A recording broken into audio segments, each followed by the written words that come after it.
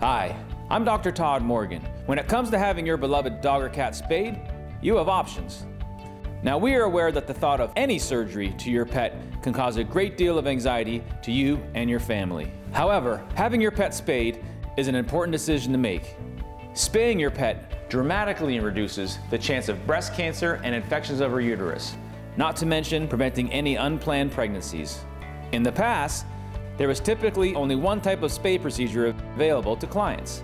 This traditional spay procedure has been the same procedure that veterinarians have been performing for decades. Now, there is an exciting new alternative called the laparoscopic spay, or medically termed a laparoscopic ovariectomy.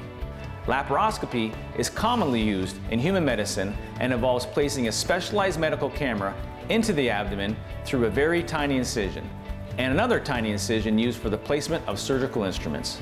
This procedure allows for greater magnification of the structures in the abdomen and is far less painful and far less traumatic for patients.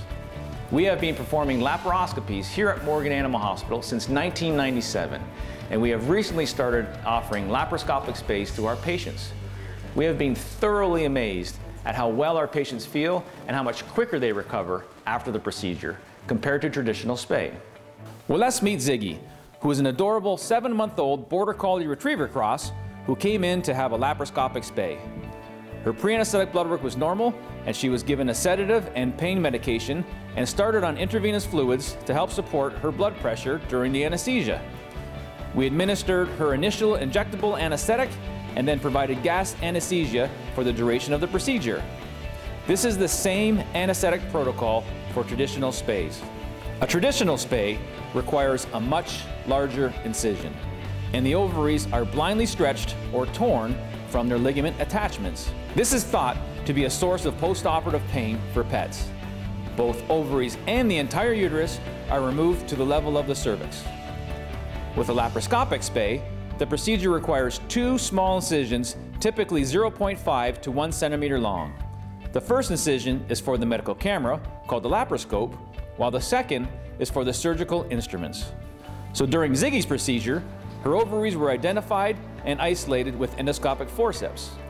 A special vessel sealing device was used to cauterize, seal, and cut the ovarian blood vessels and ligament, thereby freeing the ovary from the rest of her uterus. Her ovaries are then retrieved and removed through the instrument incision.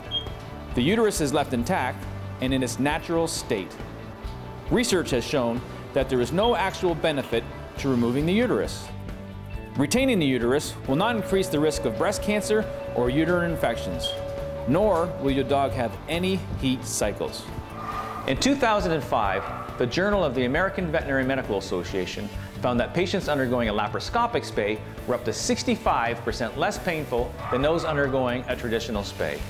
Along with less pain, there was reduced tissue trauma and a significantly faster recovery time for our pets. Ziggy was monitored closely as she recovered from her surgery and was given additional pain medication to ensure her comfort. After a few hours, Ziggy was ready and excited to go home, back with her family again. Ziggy's owners were amazed and relieved at how quickly she recovered and how fast she was back to her normal activities. There have been numerous medical advances in both human and veterinary medicine during my 18 years in practice, and the laparoscopic spay is the most impressive advancement that can make a really significant improvement in my patient's comfort after surgery. We are excited to be able to offer a less painful, minimally invasive alternative to traditional spays. So when scheduling your pet spay, be sure to consider your options and make the best choice for your pet. Thank you.